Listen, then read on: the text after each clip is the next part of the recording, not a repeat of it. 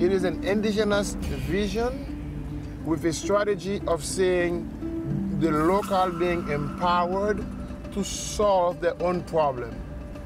And I, I choose to believe the best is yet to come.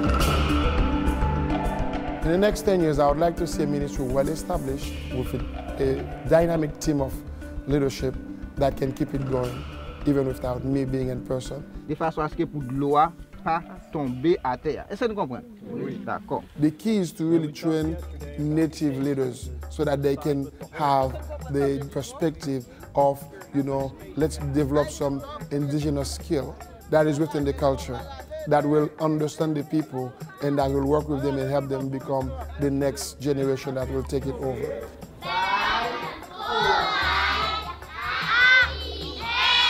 Each ministry need to have a clear goal. Education is the key to bring this community to the next level. And it's not just from kindergarten to seventh grade this far. It is trade school, it is life skills.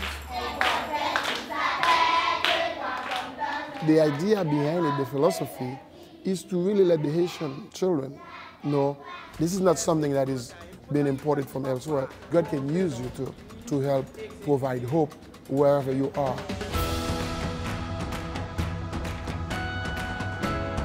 Provide, you know, light and darkness. You can be salt to the community where you, you live.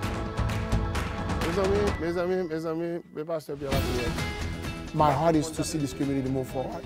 You know, and I'm at a place where I would like to see a team catch that vision and move forward with it. My greatest heart desire is to see this established with that indigenous vision and philosophy and strategy and let it move to the next level. It's guided by many friends and supported by many sponsors, but the beneficiaries are learning to become self-sustained so that we'll not forever have our hands out. That's our vision, that's our plan, our strategy.